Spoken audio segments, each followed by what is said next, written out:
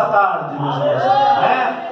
O olho do inferno está sobre esse lugar. Porque aqui tem um povo que está adorando o Senhor Jesus Cristo de Nazaré. Amém? Muitos tinham plano para vir aqui, mas não veio, né? Porque foi impedido de alguma maneira para não chegar aqui para ouvir a verdade, a palavra do Senhor Jesus Cristo de Nazaré. Como a minha esposa acabou de falar aqui ah, sobre as lutas, né? Luta contra a nossa vida, né? Então o servo de Deus, ele sabe que ele passa por estreito na vida, né? O servo de Deus, ele está sendo oprimido 24 horas pelas forças malignas do inferno. Porque você é um, um tropeço na, na, frente de Satanás. Porque você está resgatando alma para Jesus Cristo de Nazaré. E nós estamos aqui hoje, meus amados irmãos, pela graça e a misericórdia do nosso grande Deus. Foi Ele que nos concedeu mais um dia, mais uma oportunidade, o fôlego de vida para que nós estivéssemos aqui hoje. Amém? Você é mais que vitorioso nessa tarde, meus amados irmãos. Eu não sei qual é a luta que você está passando, eu não sei qual é a angústia que você está passando, eu não sei o que está acontecendo na tua vida, mas eu sei de uma coisa: que tem um Deus todo-poderoso que Ele conhece você, desde o ventre que você estava na, na barriga da tua mãe, Ele já te conhece. Esse lugarzinho que você está, você acha que é coincidência que você está aí? Você acha que é coincidência? Dois mil anos atrás já estava reservado para vocês esse lugar. Já estava reservado esse lugar para ti. É, meus amados irmãos, tudo aqui vai se passar, tudo vai se findar, mas tem um lugar que nos aguarda, um lugar santo, um lugar que não vai ter tristeza, não vai ter angústia nem sofrimento mais. Existe esse lugar, meus amados irmãos, mas muitos estão brincando, muitos não estão levando a sério a vida, a oportunidade que tem aqui na terra, né? Muitos estão levando de qualquer maneira, não estão levando a sério a chance que tem, mas graças a Deus, nós estamos aqui para louvar e engrandecer somente um, o Todo-Poderoso, Jesus Cristo de Nazaré. Dá uma salva de palmas para Jesus, meus amados irmãos.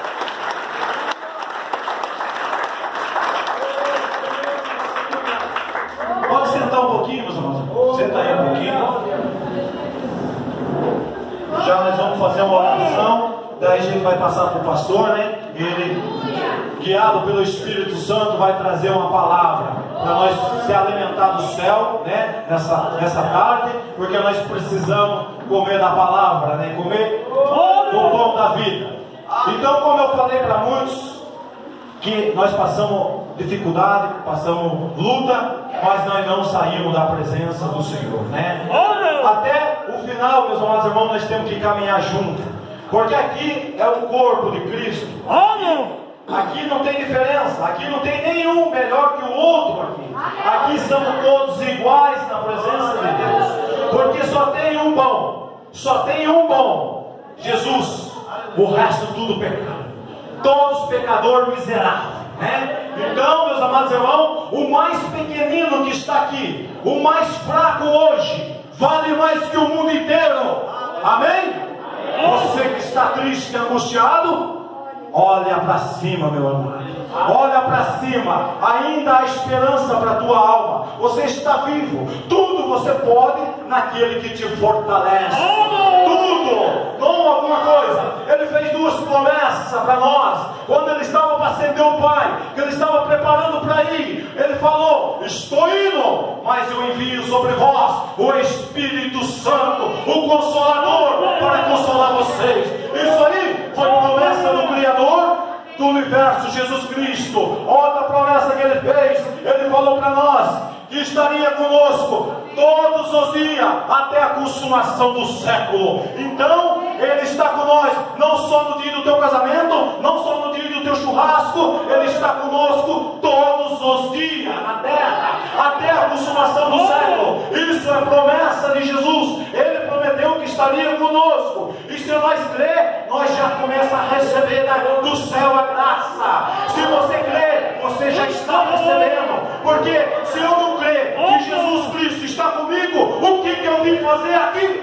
Se eu não crer que Jesus está comigo, eu vim perder meu tempo aqui. Então, você tem que crer que Ele está aqui, que Ele vai te abençoar, que Ele vai te curar, que Ele vai expulsar os demônios que estão atormentando a tua família, você nessa tarde. Você tem que crer, meus amados. Se você crer, você já está recebendo, porque Ele prometeu que estaria todos os dias conosco. Não só no dia bom, não só no dia da festa, não só no dia que você está feliz. Não, Ele prometeu que estaria até a consumação do século. Então, você tem que crer, confiar no nosso Salvador Jesus Cristo. Ele é a porta, Ele é o caminho, Ele é a vida, porque o crente sem Ele, ele está morto, ele não tem vida. Não adianta você ter o melhor carro, não adianta você ter a melhor casa, mas se você não tiver o Rei da Glória sobre a tua vida, você não tem nada.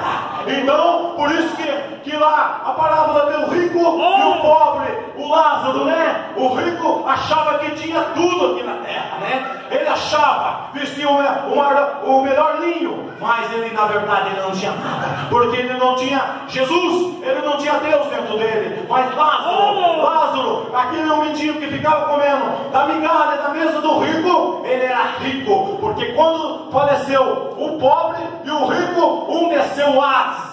E o outro foi recolhido pelos anjos, levou até o seio de Abraão. Não, é, não foi assim? Não é assim, meus amados irmãos? Então, o mais pequenino aqui hoje, aquele que chegou se arrastando aqui, só pela graça misericórdia de Deus, você é muito importante para hoje e sempre para Cristo, meus amados irmãos. Basta você crer e confiar, acreditar, você começa a receber. Amém? Amém.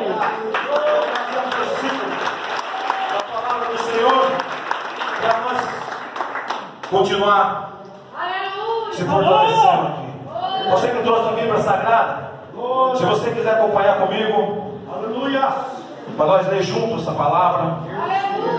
Aleluia. Está no livro de Mateus, Mateus 21, capítulo 28, meus amados irmãos. A palavra que, que Deus trouxe ao meu coração hoje. Mateus 21, capítulo 28. Glória a Deus. Glória a Deus, aleluia. Aquele que está no Espírito, aquele que chegou no Espírito, ele já está recebendo. Aquele que está na carne, ele não está entendendo nada. Ele não entendeu nada porque está somente na carne. Porque nós estamos aqui buscando o que é do Espírito, né? Buscando Jesus Cristo, o poder de Deus. Amém. Glória a Deus. Aleluia. Mateus 21, capítulo, versículo 28. A parábola dos dois filhos.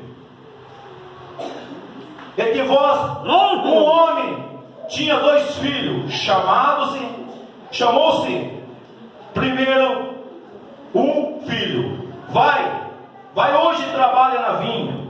E ele respondeu: Sim, senhor, porém não foi. Dirigindo-se o segundo, disse a mesma coisa, mas este respondeu: Não, não quero. Depois arrependeu e foi. Qual dos dois fez a vontade do Pai?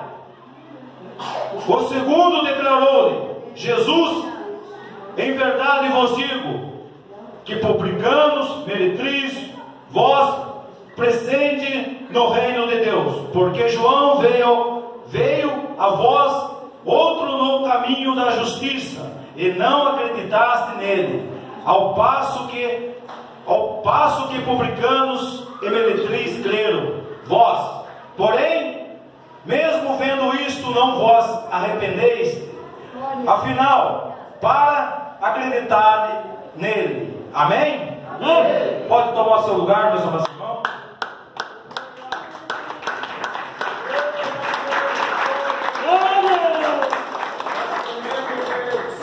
Jesus Cristo, resumindo, nessa parábola, né, meus amados irmãos? Para os, para os doutores da lei, explicando para os doutores da lei naquela época, né? Por quê? Muitos se diz, sim, eu vou, né? Mas eles pregavam a verdade, mas não faziam a verdade. eles apenas pregavam, né? Os fariseus pregavam, né? Tudo certinho, mas não faziam. Então não adianta nada você encher a tua boca e dizer que você ama a Deus, ama Jesus Cristo, mas não obedece o mandamento do Senhor, não pratica aquilo que está na Bíblia Sagrada. Você diz que ama a Deus, mas você não pratica. Então você se torna um fariseu também, o doutor da lei, que falavam, mas não faziam o que era certo, né? Então, a chamada mandou um filho, vem cá, faça isso, trabalhe na vinha. Ele respondeu, sim, muitos, foi chamado para estar aqui. Sim, estarei lá. Né? O outro que disse imediatamente: Não, eu não vou, não quero, eu não vou lá hoje. Mas hoje, se arrependeu e está aqui. Por quê? Ele creu em Jesus Cristo. Naquele grande dia, meus amados irmãos, aquele que trabalhou na vinha, 30 anos na vinha do Senhor, mas no último momento morreu sem Cristo, desviou da presença do Pai e desceu à sepultura. Esse perdeu todo o seu trabalho. Mas aquele que no, imediatamente, quando chegava a palavra, a oportunidade, vem servir o Senhor nessa noite, vem no culto, vai ter um culto tal dia, vamos lá. Ele falava: Não, não quero, não vou. Mas um pouco antes de descer a sepultura, ele se arrependeu e creu e confessou o pecado ao, ao Criador. Esse fez a vontade do Pai, esse obedeceu os mandamentos do Senhor. Então, meus amados irmãos, você que está aqui, Abra o teu coração nessa tarde para Jesus. Não só diz sim, mas obedeça os mandamentos do Senhor. Pratica ele. O que era pecado continua sendo pecado da mesma maneira. Não mudou nada. Jesus Cristo é o mesmo. O Alfa, o Ômega, o princípio e o fim. Ele nunca mudou e nunca vai mudar. Se você quiser morar no céu, você vai ter que traçar o caminho estreito, a porta estreita. O céu não é para todos. Foi chamado todos. Jesus chamou todos, sem exceção. Mas lá só entra quem quer. Só quem renunciar a esse mundo de pecado. Aí sim você vai poder entrar lá. Muitos estão preocupados com bens materiais, preocupados com carro, preocupados com boa roupa. Mas ele esquece que o dia de amanhã pertence somente a Jesus Cristo de Nazaré. Tiago, se você for na última página lá do livro de Tiago, vai estar falando que a vida do homem é semelhante a uma neblina. Você levanta de manhã, tem uma neblina. Você dá uma piscada de ouro, entra para dentro, sai e volta, a neblina foi embora. Então a vida do homem é passageira, ela passa rápido demais, meus irmãos. Se você soubesse que você ia viver mais 20 anos para frente, quem sabe você poderia continuar brincando, mas ninguém sabe o dia de amanhã. Quem sabe hoje, agora, é a última oportunidade que Jesus está te dando para você aceitar Ele de coração, porque em João está escrito: Estou à porta, batendo. Se você abrir, eu entro mas você tem que querer. Você tem que tomar essa decisão, porque o livre-arbítrio está sobre nós. Cabe a você servir ao Rei, servir a Jesus Cristo, ou continuar no pecado, continuar fazendo aquilo que desagrada o Senhor, desagrada o Pai, porque todo mundo que está aqui tem consciência disso. Não, ah, eu não sei que é pecado. Sabe sim, meus. Você sabe que é pecado sim e continua praticando o pecado. Né? Só que naquele grande dia, lá no juízo final, no dia do trono branco, não terá misericórdia. O Deus que é amor hoje, hoje ele é teu advogado, hoje ele é tudo de bom para ti. Só que naquele grande dia ele será fogo consumidor, não terá misericórdia, será amarrado punho e pé para aquele que achado lá naquele grande dia e será lançado no lago de fogo com Satanás eternamente para sempre. Muitos não têm essa oportunidade mais, mas eu e vocês, nós temos uma oportunidade. Que oportunidade é essa? A oportunidade é nós se humilhar, a oportunidade é nós buscar mais Jesus Cristo, a oportunidade de nós liberar o perdão, a oportunidade mais de nós fazer a vontade de Cristo, abraçar, dizer que nós amamos o nosso semelhante, porque não adianta nada você carregar cesta básica nas costas, não adianta você vir aqui na frente e pegar bonito. Tem um discurso lindo, ficou um mês ali lendo, lendo, lendo, e preparou um esboço bonito que vai falar para, os irmãos, e os irmãos vão ficar impactados, mas você não pratica aquilo que Deus manda, então isso não vai contar naquele grande dia.